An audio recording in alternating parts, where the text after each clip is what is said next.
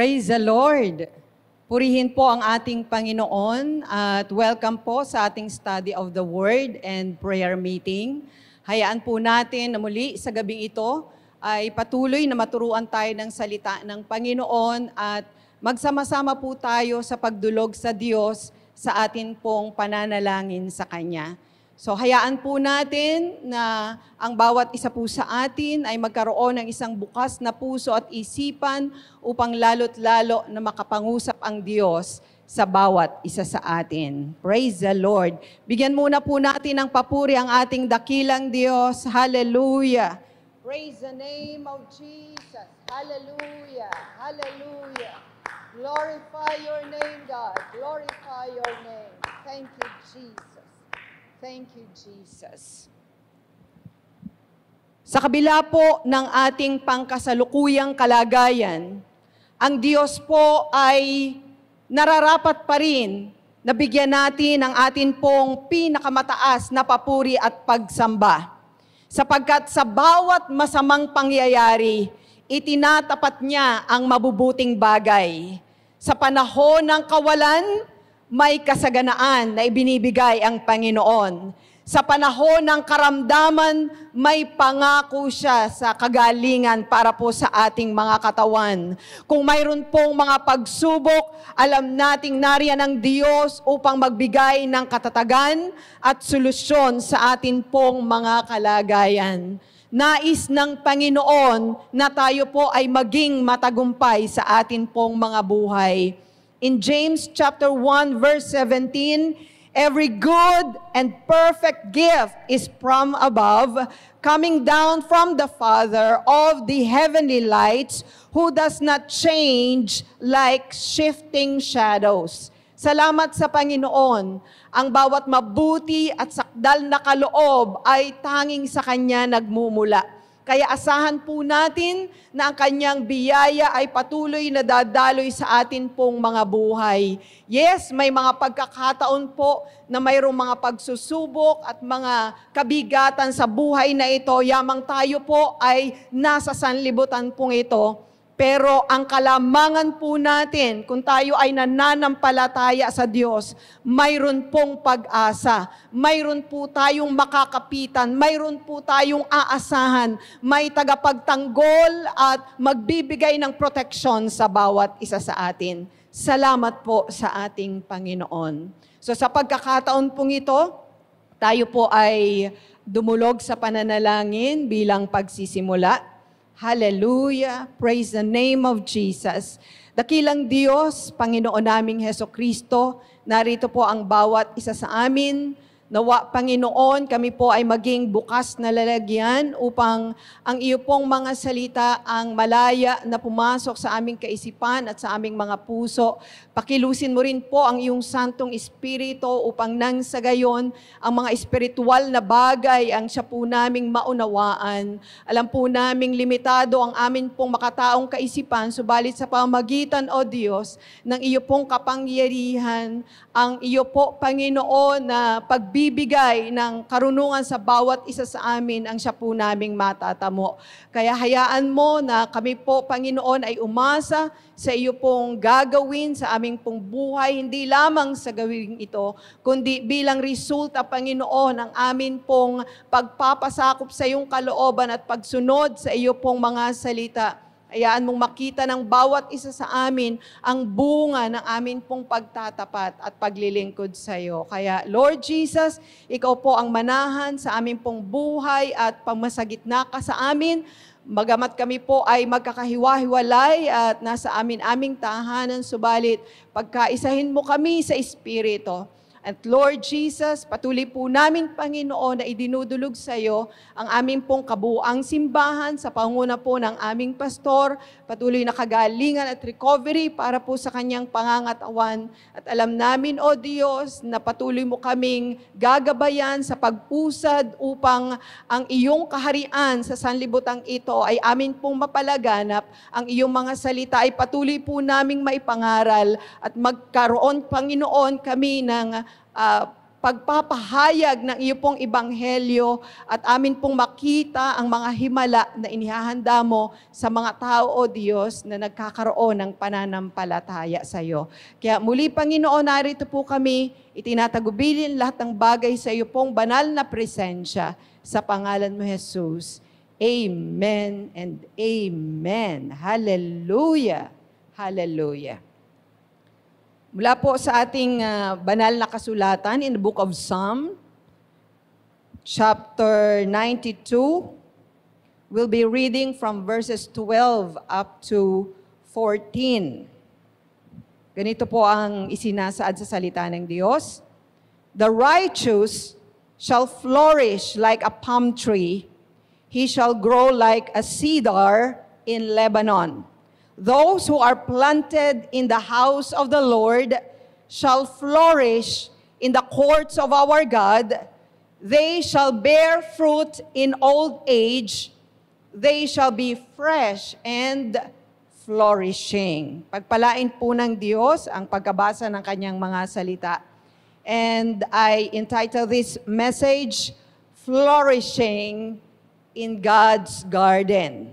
Ang pamumulaklak o pamumukadkad o kaya naman ay pagginhawa sa hardin ng atin pong dakilang Diyos. Praise the Lord. Ako na po ang bawat isa.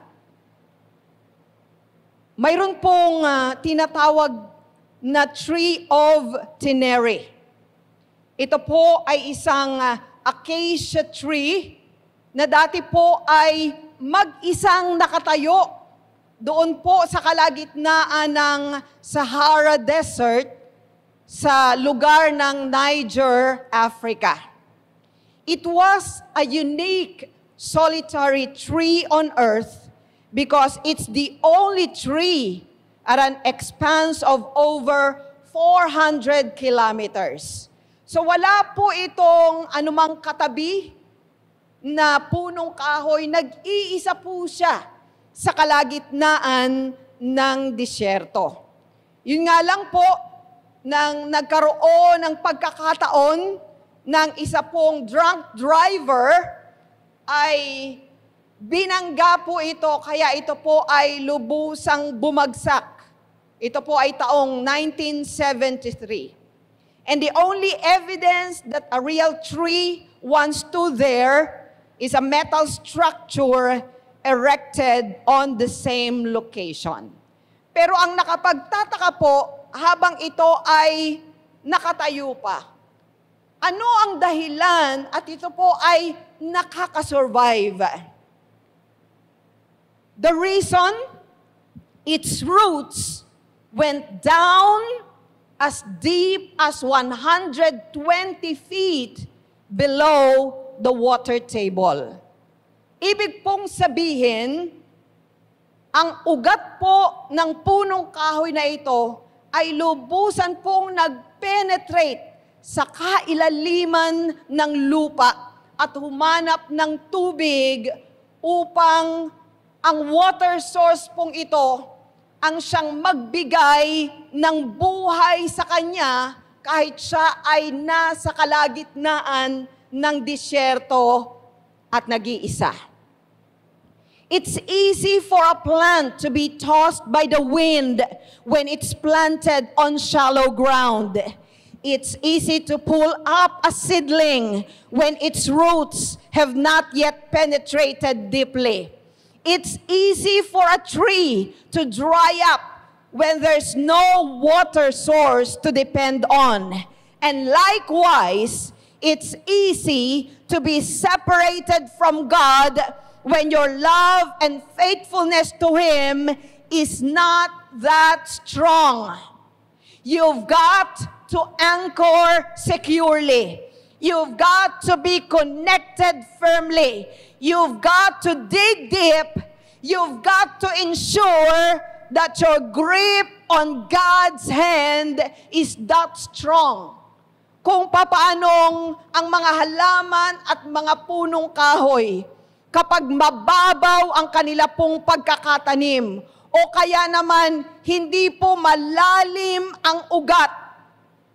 o wala pong source ng tubig na magbibigay po ng pagdilig sa kanila, ito po ay hindi tatagal. At ganyan din po sa ating pananampalataya sa Diyos. Malibang tayo po ay magkaroon ng isang malapit na relasyon sa Kanya, na atin po siyang mahalin, magtapat tayo sa paglilingkod sa Kanya, doon lang po tayo makasisigurado na tayo po ay may mahigpit na kapit sa atin pong Panginoon. Aleluya! Hayaan po natin na sa pamagitan ng atin pong pananampalataya sa Diyos na hindi kayang ugain o tinagi ng anumang puwersa sa sanlibutan ito, lubusan po nating mapapatunayan ang katapatan ng Diyos lalo sa atin pong mga buhay. Kaya nga po, sa banal na kasulatan, nandoon na tinawag na mapalad ang isang tao na tumitiwala sa Panginoon at ang pag-asa ay ang Panginoon. At saan po siya inihalin tulad? Siya'y magiging parang punong kahoy na itinanim sa tabi ng tubig na nag-uugat sa tabi ng ilog at hindi matatakot sapagkat ang init man ay dumarating, nandoon pa rin ang kanyang security ang kanya pong mga dahon ay magiging sariwa, hindi siya mababalisa sa pagkatuyo o maglilikat man sa pagbubunga. Ganyan po ang paghahalin tulad ng Diyos sa mga taong matuwid at nagtatapat sa harapan ng ating Panginoon. Yes, we're not perfect as human beings, pero sa pamagitan ng biyaya ng Diyos, at sa atin pong uh, pananampalataya sa Kanya, ang direksyon na ibinibigay ng Diyos ay para po sa ating kabutihan, para po sa ating pananagumpay, para po patuloy tayo na magkaroon ng proteksyon na nagmumula sa Kanya. Now, the Bible equated some trees along with their good qualities with our relationship to God. Ang binasa po natin kanina ay nagpapahayag ng paghahalin tulad ng salita ng Diyos kung paano may magagandang quality ang mga punong kahoy na binanggit Gayon din po ang mga tao na may mabubuting katangian sa pananampalataya ay may pagpapala mula sa Panginoon. In Psalm 92:12, the righteous shall flourish like a palm tree. He shall grow like a cedar in Lebanon. So kapag ang matuwid pala po ay lubusan ay sinuko ang kanyang sarili sa Panginoon, pagiginhawahin siya ng ating dakilang Diyos na gaya ng puno ng palma at tutubo na parang puno ng cedro doon sa Libano. Now, the resemblance of palm trees with the righteous for those believers planted in the house of the Lord is interesting. Napakaganda po ng paghahalin tulad ng banal na kasulatan patungkol sa mga mananampalataya at gayon din po sa magagandang katangian ng mga punong kahoy.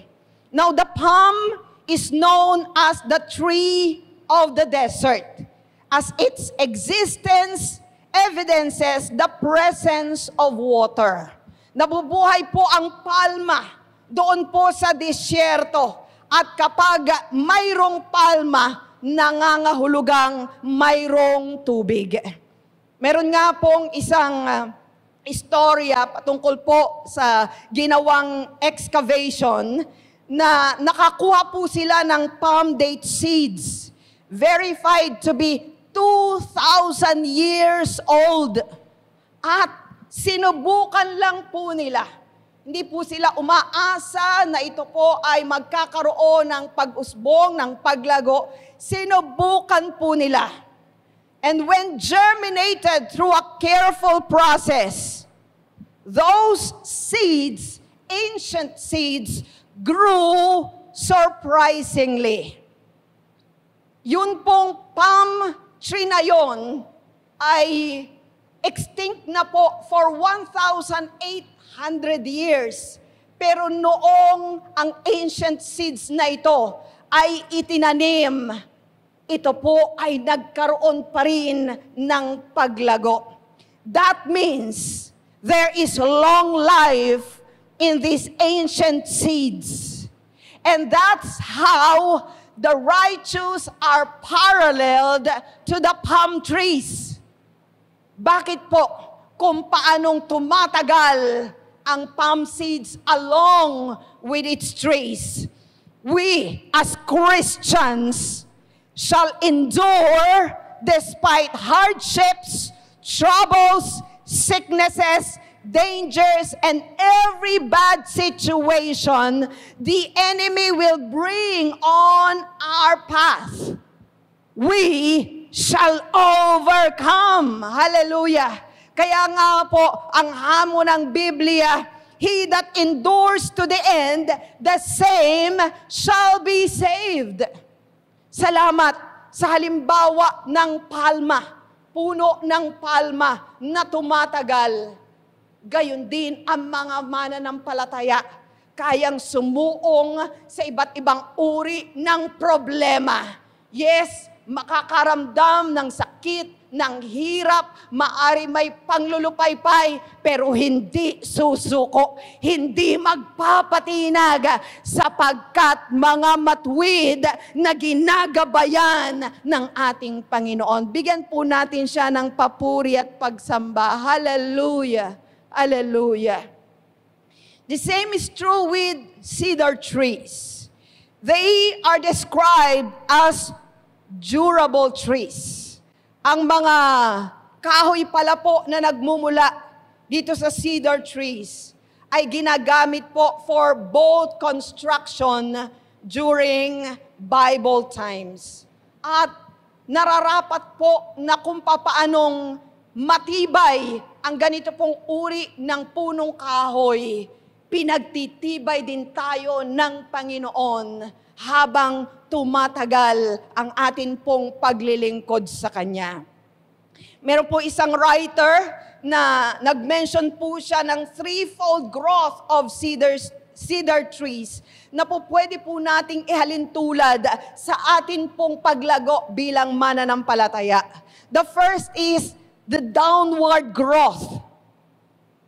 Yun pong paglago na pailalim That means these trees need to be deeply rooted. Kailangan pong malalim ang pag-uugat nito pong cedar tree na binabanggit. Upang ito man po ay tumaas, ito man po ay lumaki, kaya pa rin niyang dalhin ang kanyang sarili sapagkat malalim ang penetration ng ugat doon sa ilalim ng lupa. It takes a lot of time to grow deeply, to grow roots penetrating into the soil. And having roots so deep enough speaks of our deep relationship with God. Kung paano pong ang root system, ang siya pong pinagbabatayan ng paglago ng kabuang punong kahoy. Gayon din ang pagbabatayan po sa ating katatagan sa pananampalataya ay ang ating malalim na relasyon sa atin pong Panginoon. We need to grow downward. We need to be secure deeply with the Spirit and the presence of the Lord. Ano po ang sabi sa Book of Ephesians chapter 3 16 to 17 upang sa inyo'y ipagkaloob niya ayon sa kayamanan ng kanyang kaluwalhatian, na kayo'y palakasin ng kapangyarihan sa pamagitan ng kanyang espiritu sa pagkataong loob na si Kristo ay manahan sa inyong mga puso sa pamamagitan ng pananampalataya upang kay mag-ugat at magtumibay sa pag-ibig. Hallelujah! Ito po ang nais ng Panginoon na tayo po ay pag-ugatin at pagtibayin sa pag-ibig ng ating Panginoon upang kahit anumang pag-uga na gawin sa atin pong paglilingkod sa Diyos, hindi po tayo babagsak, hindi tayo matitinag. Purihin ang ating dakilang Diyos. Mayroon din po ang tinatawag, syempre, upward growth. Ang paglago na pataas. Nais rin ng Panginoon na sa atin pong paglilingkod sa Kanya, tayo po ay nakikitaan ng magandang resulta, ng magandang bunga, na tayo po ay nagiging uh, mapagsaliksik sa lahat po ng mga bagay patungkol sa salita ng ating Panginoon. Ang atin pong pananalangin, ang siya pong dumidilig sa atin sa araw-araw. Ang kanya pong mga salita, ang siyang nagiging pinakapagkain natin. Ang kanya pong spirito, ang animoy sikat ng araw na siyang magpapatatag sa atin. Nawa ang atin pong paglago sa Panginoon ay maging dere-derecho. Maaring hindi po biglaan, sinasabi nga po, slowly but surely, dahan-dahan man, pero sigurado na nagpapatuloy. Kaya nga po, in 2 Peter chapter 3, verses 17 to 18, You therefore, beloved, since you know this beforehand, be, beware lest you also fall from your own steadfastness, being led away with the error of the wicked, but grow in the grace and knowledge of our Lord and Savior Jesus Christ. To him be the glory both now and forever. Nararapat daw po na pagtibayin natin ang ating pagkakilala sa atin pong Panginoon at sa biyaya na atin pong natatamo mula sa Kanya. At tayo raw po ay maging maingat mula po sa mga hidwang mga pagtuturo at pananampalataya. I believe, pag alam po natin ang katotohanan, pag ito po ang lagi nating binabasa sa araw-araw, kapag may inilagay ang kaaway na kasinungalingan, kaagad po natin itong matutuklasan sapagkat lubos po nating ibinabad ang ating sarili sa salita ng atin pong Panginoon. So let's grow in the grace and knowledge of our Lord and Savior, Jesus Christ. Kaya mayroon pong magiging magandang resulta.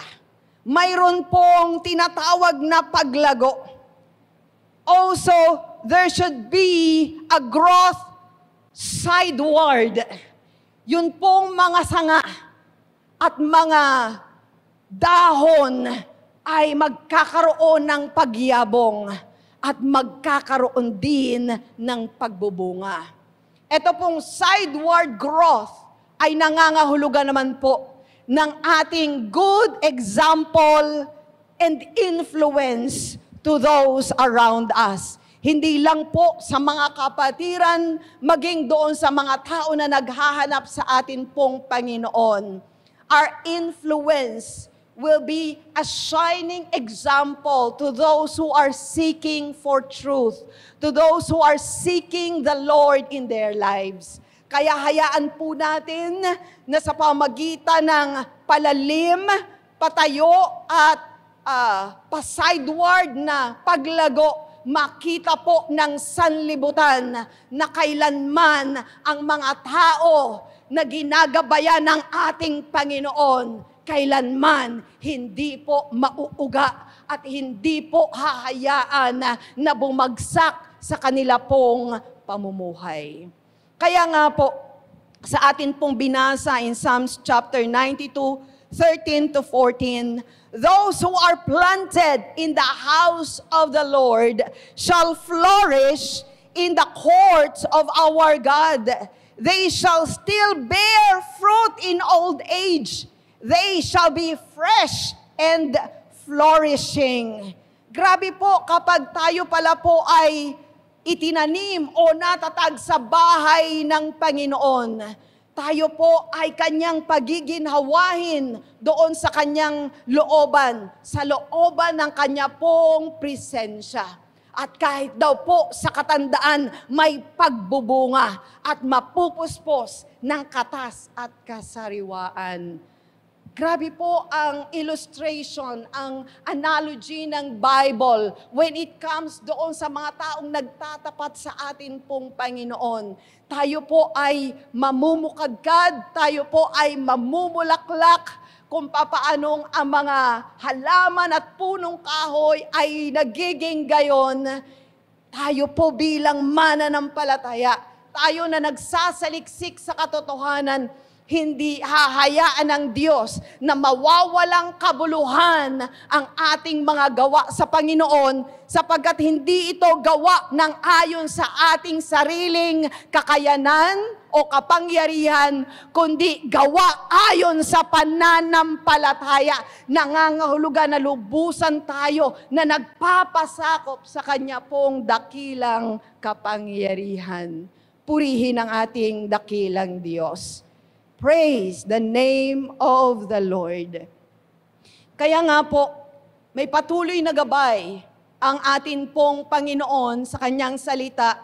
In the book of Psalm chapter 1, dito po natin makikita kung papaanong ang gabay ng Panginoon ay sa sa atin kung hindi po natin hahayaan na tayo ay maimpluwensyahan ng masama kundi manatili tayo doon sa dako ng kabanal-banalan. Ang sabi po in verse 1 of Psalm chapter 1, mapalad ang tao na hindi lumalakad sa payo ng masama, ni tumatayo man sa daan ng mga makasalanan, ni nauupo man sa upuan ng mga manlilibak.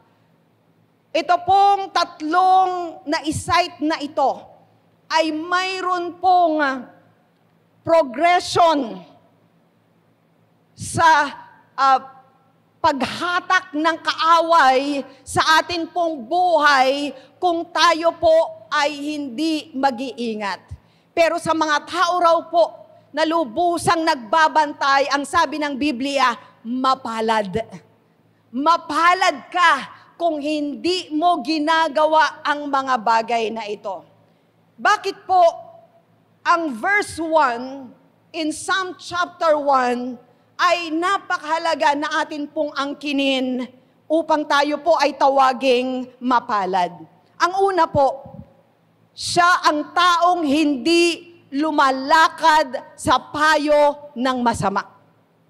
Now, alam po natin na ang paglakad ay nangangahulugan. Kapag ikaw ay may isang taong kasabay sa paglakad, nangangahulugan na mayroon pong kalimitan na pakikipag-usap at pakikinig.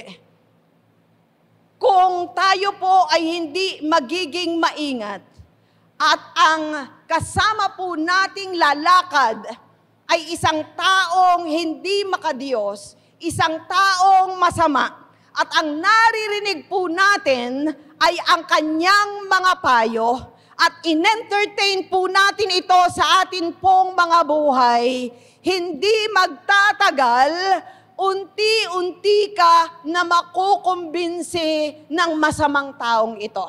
Grabe po ang epekto ng masamang impluensya. Kaya kung hindi ka daw sumasabay at nakikipag-usap habang lumalakad doon sa mga tao na hindi matuwid.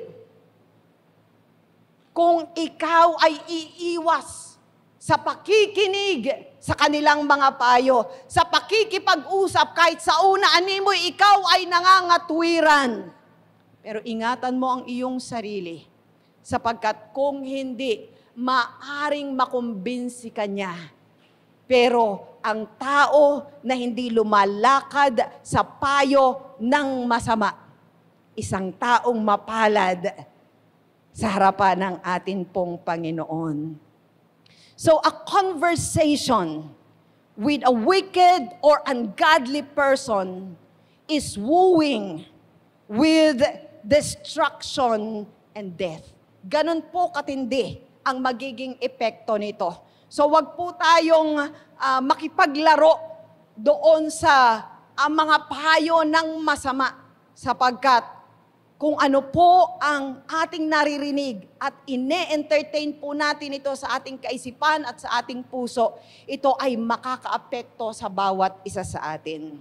Ano po ang sabi pa? Mapalad ang tao na di tumatayo sa daan ng mga makasalanan. Ano naman po ito? Ang pagtayo po rito ay nangangahulugang ikaw ay nakatigil. Pero sa iyong pagtigil, nandoon na ikaw ay unti-unti na na nahuhulog sa trap ng kaaway. Kapag narinig mo na ang mga payo na parabang napaka-deceiving, parang ang sarap pakinggan, pero ito pala ay magpapahamak sa iyong kaluluwa. Kapag ikaw ay tumayo ng kasama niya, that means you become His follower. Tagasunod ka na niya kasi hindi ka na nagre-reason out tumatango ka na kung ano ang sinasabi niya sa iyo. At yun po ay napaka-panganib. Pero ang tao raw na hindi dumarating sa gayong puntos, na lubusan ng nagiging tagasunod nito pong mga taong masama. Ito ay tatawagin ng mga taong mapalad sapagkat patuloy nila na ipinasasakop ang kanilang isipan at ang kanilang puso sa harapan ng ating Panginoon. Ikatlo, hindi po sila nauupo sa upuan ng mga manlilibak. Ang pag-upo dito ay nangangahulugan po na ikaw ay umuupo na animoy isang hukom. Ikaw ay nananatili na doon. Nagiging animoy tahanan mo na ang upo ang yaon. Ano pong ibig sabihin kapag ikaw ay naging tagasunod na, isang araw, ikaw ay magiging representative na ng ungodly person upang maging katulong niya at katuwang niya sa pagkakalat ng mga kasinungalingan, ng mga bagay na hindi katotohanan, ng mga pandaraya at ikaw ay nangungumbinsi na rin sa iba na ganito ang gawin mo. Ganon po katindi ang hatak ng kaaway. Pero ang sabi nga ng banal na kasulatan, mapalad ka kung hindi ka nauupo sa upuan ng mga manlilibak nangangahulugan. Iniingatan mo ang iyong sarili. Salamat sa paalala ng salita ng Diyos. Sa halip na ito raw po ang siyang makita sa isa pong mananampalataya. Ang sabi po sa Psalm 1 verse 2, ang kanyang kasayahan ay nasa kautusan ng Panginoon at sa kautusan niya nagbubulay-bulay siya araw at gabi. Ito para po ang habit, ang lifestyle ng isa pong taong mapalad ang kanya pong kasayahan ay walang iba kundi nasa salita ng atin pong Panginoon.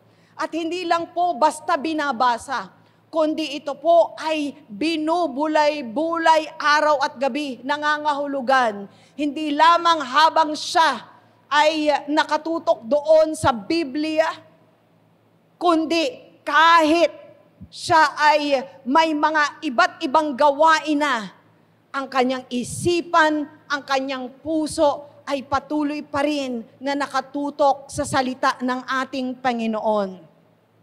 Meditating here means spending time reading and thinking about what you have read, At paano po natin ito maihahalin tulad? Animo po ang pagbubulay-bulay ay ang atin pong pagkagat, pagnguya ng dahan-dahan at ito po ay ating lulunukin upang magbigay ng sustansya sa atin pong mga spiritual na buhay. Yan po ang nais ng Panginoon patungkol po sa ating pagtugon sa kanyang salita. Hindi lang yung ating narinig, hindi lang yung ating binasa, kundi atin po itong inunguya, atin po itong inuunawa, at ito po ay ating dahan-dahan na nilulunok upang nang sa gayon, siguradong may sustansya na makakamit ang atin pong mga kaluluwa. Kaya nga po, muli, sa verse 3, inihalin tulad po yung taong mapalad. Ang sabi, siya'y magiging parang punong kahoy na itinanim sa siping ng mga agos ng tubig na nagbubunga sa kanyang kapanahunan ang kanyang dahon na may hindi malalanta at anumang kanyang gawin ay giginhawa. Yan po ang pangako ng atin pong dakilang Diyos na kapag tayo po ay napasakop sa kanyang kapangyarihan, hindi po tayo makakaranas ng pagkatuyo sa atin pong mga buhay. Hindi ko po sinasabing kailanman ay hindi na tayo magkakasakit, kailanman ay hindi na tayo maghihirap, kailanman ay hindi na tayo magkakaproblema bilang mananampalataya. Hindi po ganyan ang kahulugan nito, kundi ito po ay nangangahulugan na kahit dumaan ka sa ganito pong mga klaseng pagsubok, animo pa rin ang iyong kaluluwa ay nasa tabi ng tubig.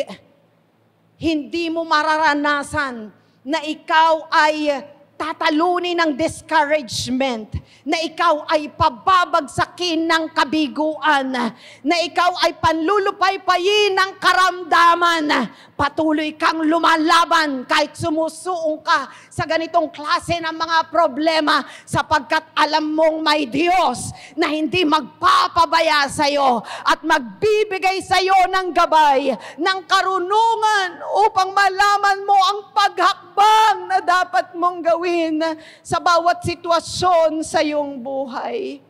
Kaya nga, napakapalad ng isang tao na may lubusang pananampalataya sa atin pong Panginoon. At mayroon pong paalala mga kapatid, na nawa, wag po tayo na magsasawa na magpatuloy sa ating paglago sa atin pong Panginoon. Alam niyo po, cute na cute po tayo doon sa bonsai tree. At para bang, wow, yung dapat ay napakalaking punong kahoy na halos hindi na natin mayapos dahil sa kalakhan. Ngayon ay nasa gitna lang ng atin pong dining table or ng ating living room at atin pong pinagmamasdan. Pero ito po ang nais nating sabihin. Huwag po nawa tayo na maging bonsai na kristyano. Cute tingnan, pero walang tunay na paglago.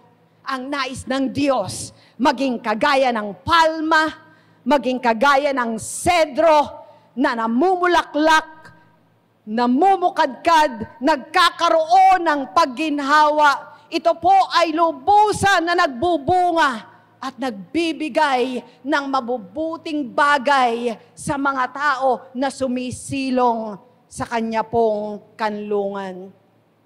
Nais din ng Panginoon na sabihin sa bawat isa sa atin na tayo ay hindi nararapat na gumaya sa mga tao na hindi matuwid sa harapan ng ating Panginoon sapagkat nais po ng Diyos, tayo ay tawaging mapalad.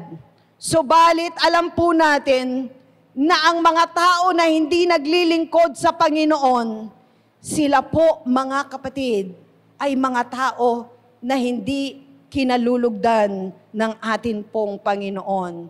Kaya ano po ang paalala ng salita ng Diyos in Psalm chapter 1 pa rin? Kung ang mapalad ay may napakagandang katangian, it says, The wicked are not so, but are like chaff which the wind drives away. Ganon po inihalin tulad ang isang taong masama. Siya daw po ay kagaya ng ipa na kapag dinaanan ng hangin, ito po ay nadadala kung saan-saan. Wala pong tibay, wala pong kasiguraduhan sa kanyang buhay. Kaya nga po, nandoon ang pangako ng ating Panginoon in the last verse of chapter 1. Therefore, the wicked will not stand in the judgment, nor sinners in the congregation of the righteous. For the Lord knows the way of the righteous, but the way of the wicked shall perish. Kaya, hindi po makakaharap sa hukuman ng ating Panginoon ang mga masasama sapagkat wala pong mabuting bagay na ipepresent sila sa harapan ng ating Panginoon. Pero ang daan ng matuwid, ito po ay alam ng Diyos at siya po ang siyang magbibigay ng pag-iingat, ng pagpapaginhawa at pananagumpay sa atin pong paglakad sa buhay na ito. Nawa, mga kapatid, ipakipaglaban natin ang ating pananampalataya.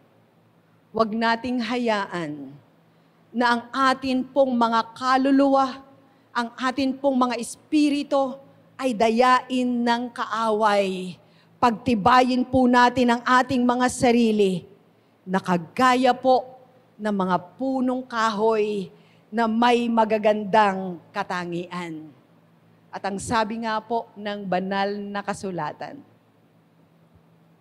He will make all things beautiful in His time.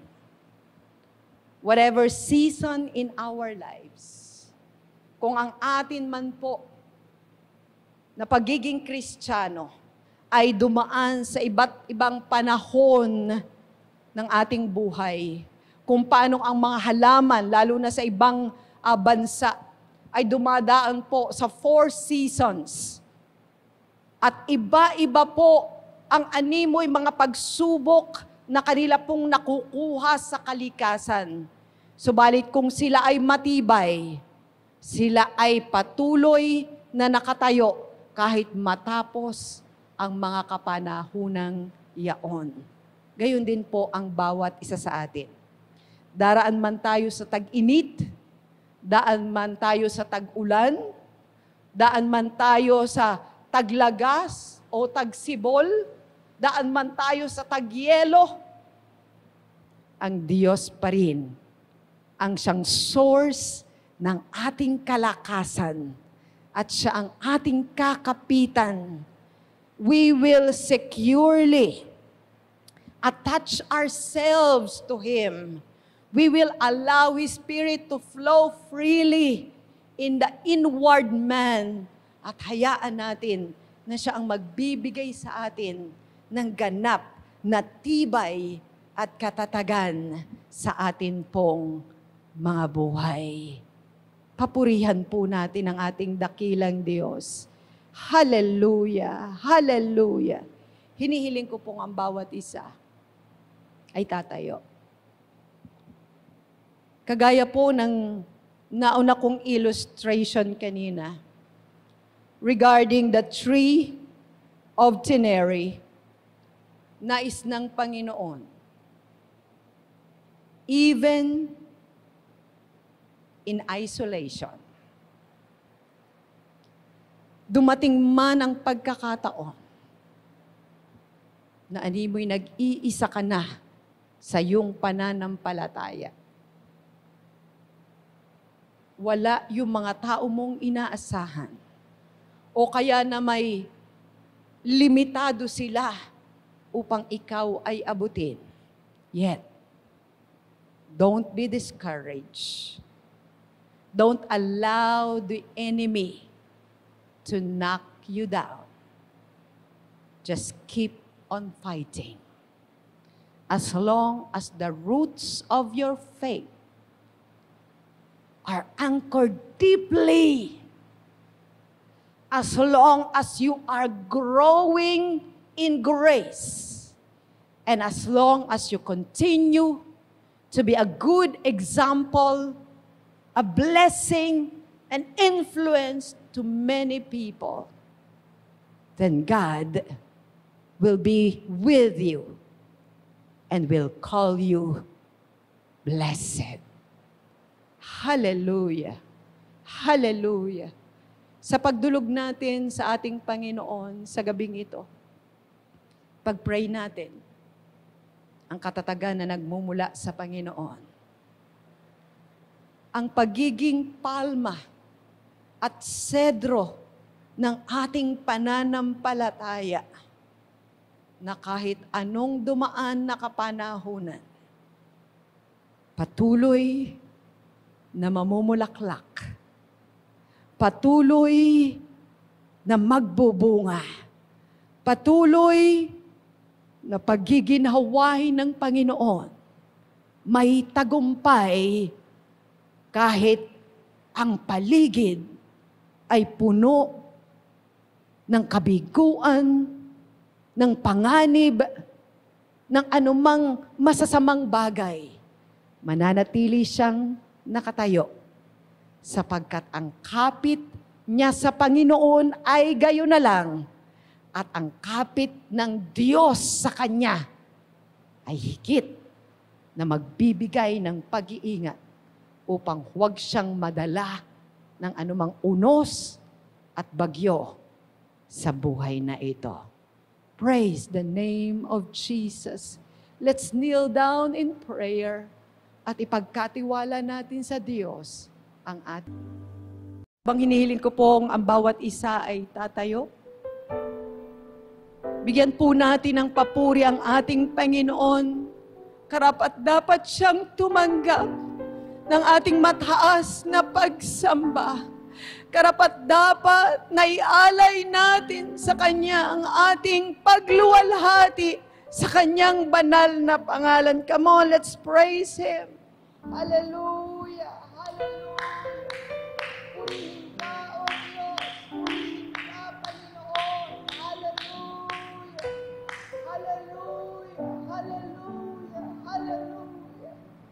Praise the name of Jesus. Nawa, yun pong ilustrasyon ng banal na kasulatan. Ang puno ng palma at puno ng sedro. Gaano man ang dumaan sa buhay, matatag pa rin, nakatayo pa rin, at patuloy na pinagbubunga sa kanyang kapanahonan. Tayo po ay dumulog sa pananalangin. Panginoon naming Heso Kristo, kami po ay nagpapasalamat ng iyong mga salita ay muling nagbigay sa amin ng gabay upang ang tamang direksyon sa buhay na ito ang siya po naming tatahakin. Dalangin po namin, O Diyos, na patuloy ng iyong mga salita ay maging liwanag sa madilim na daan sa mundong ito at patuloy na ikaw ang siyang magbibigay ng tamang direksyon sa amin pong paglakad sa tuwi-tuwi na. Lord, special prayer para po sa aming kabuang simbahan. Hinihiling po namin ang iyong patuloy na pag-iingat at pagpapalago kahit po sa kalagitnaan ng pandemya. Alam namin na nariyan ka na, na siyang magbibigay ng tagumpay sa lahat po naming mga paglakad. We also pray para po sa amin pong mga department leaders along with every family and every individual member of this church. Palakasin mo kami sa pamamagitan ng aming pong mga online services, sa pamamagitan ng aming pong mga Zoom meetings, at sa anumang pamamaraan na ginagamit mo, O Diyos, ang bagong teknolohiya. Hayaan mong i-grab, Panginoon, ng mga kapatiran ang opportunity upang sila po ay wag manghina sa kanilang pananampalataya. We also pray sa amin pong mga kapatiran at mga tagapakinig, tagapanood na mayroon pong mga karamdaman. Lord, you promised that by your stripes, we will be healed in Jesus' name.